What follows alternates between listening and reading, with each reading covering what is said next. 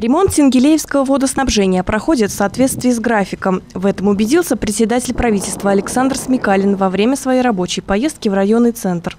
Необходимость проведения ремонта стала явной в конце апреля, когда в Сингелеевском районе произошло сразу несколько прорывов труб. Основная причина – износ сетей. На данный момент заменено порядка 600 метров труб по улице Котовского, Первомайской. Выполнен ремонт колодцев на улице Комсомольской, города Сингелея. В этом году в областную казну уже заложено более 20 миллионов рублей. На эти средства будет отремонтировано 3 километра водопровода, заменено насосное оборудование в самом Сингелее и близлежащих населенных пунктах.